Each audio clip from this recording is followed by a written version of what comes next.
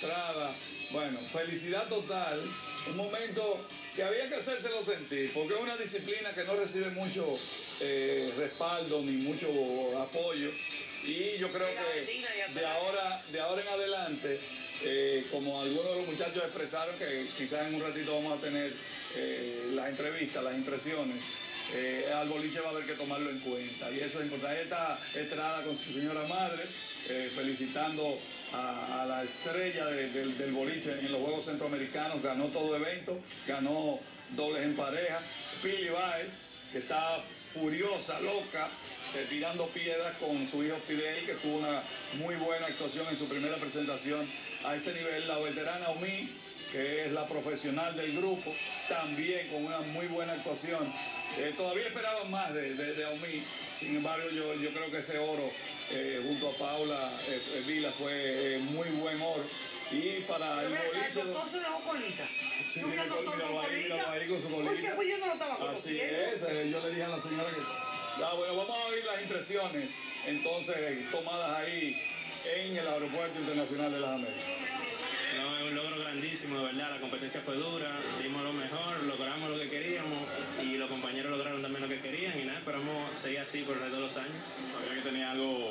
importante por delante porque estamos hablando que Franchi Prat fue un jugador excelente que, que pesa sobre ti, saber que tiene un padre así. No, ya, no, eso es algo increíble y saber que ya los dos lo logramos, entonces ya se siente aún mejor. Yo sé que él está muy contento. ¿Qué viene por delante? Nada, más preparación y, y seguir ganando.